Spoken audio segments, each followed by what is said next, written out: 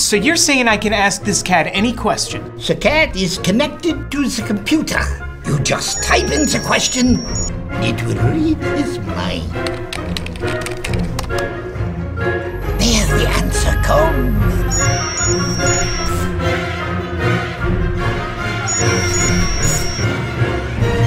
You're the man! I've been looking for this for weeks. We are asked which of the following functions are polynomial functions.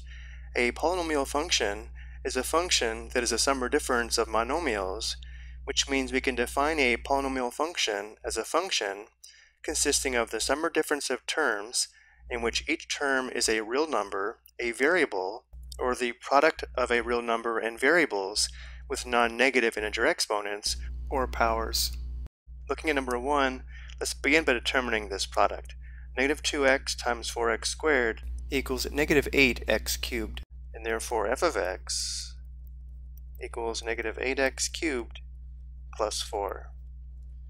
Notice how we do have a sum of two monomials, and therefore f of x is a polynomial function.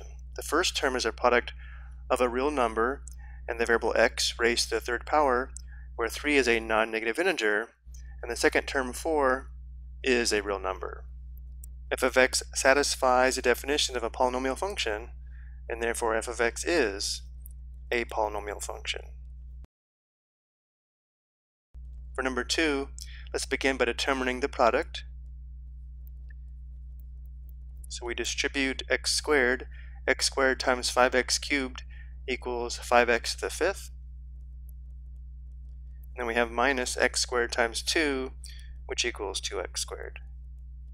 G of x equals 5x to the fifth minus 2x squared. Notice g of x is a difference of two monomials. Both terms are a product of a real number and the variable x raised to a non-negative integer power. So g of x is a polynomial function.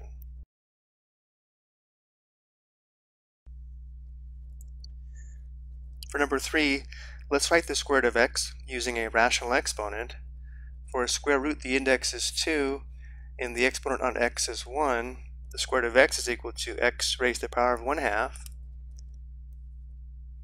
which means h of x equals 4x raised to the power of 1 half plus 9.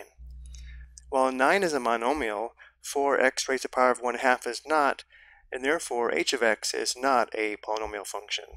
The term 4x raised to the power of 1 half is not a monomial because while 4 is a real number, Notice how the exponent on the variable x is 1 half, and 1 half is not a non-negative integer, which means h of x is not a polynomial function.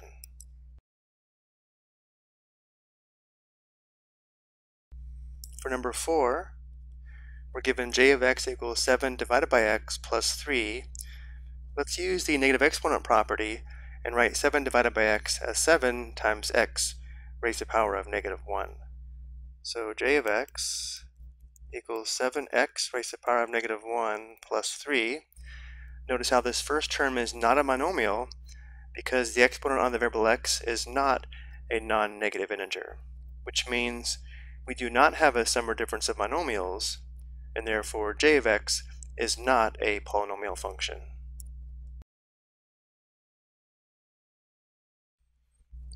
I hope you found this helpful.